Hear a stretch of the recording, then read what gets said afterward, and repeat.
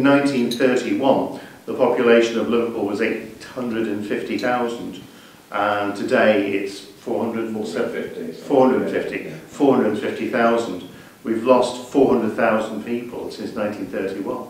Uh, so that's how much the city has shrunk in, in population, and it's losing population, or it's projected uh, that we will lose 2% per year uh, for the next 10 years on present, on present trends.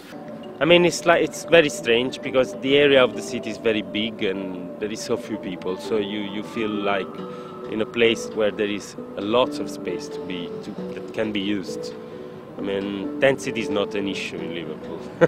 Absolutely, it can densify a lot and it can still grow. I think, but then if you come here and you can see that this this problem is not being solved really but there is a really strong uh, activity around culture and arts and the activity and the space to grow and creativity is a lot.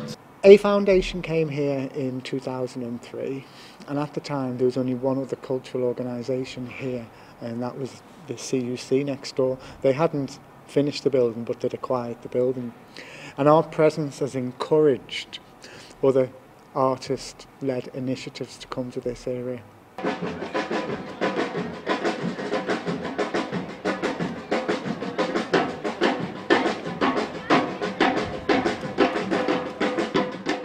For the city, you know, it, it's um, it's changed a lot.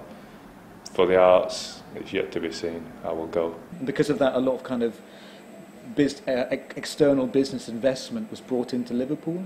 That's great, but I can't also help thinking that perhaps uh, it's not purely driven by this idea of you know bolstering or boosting particular artistic or cultural capital. It's purely market driven. That the Liverpool 08 year or cultural capital year last year was just uh, it injected a lot of money into the city centre, but systematically uh, ignored the external communities. The, cap- the capital of culture, if you like, has uh, destroyed most of the artist studios in the city and the private galleries and have turned them into restaurants or apartments. It's probably the only city in the country that that would happen to. In London, if you can get artists moving into a rundown area, then the, the area flourishes. But they keep the artists and they keep the studios and they keep the art galleries here. They just have the pubs and the um, restaurants and get rid of the galleries and the artists.